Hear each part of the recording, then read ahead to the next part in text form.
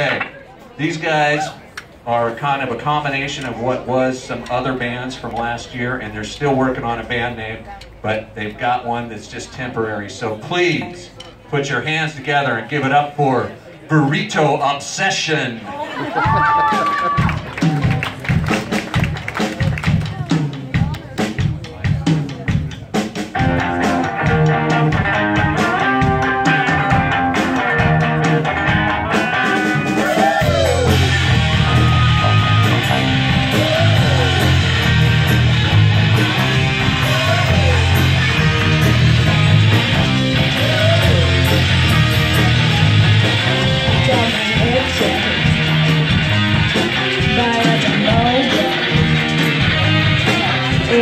easy.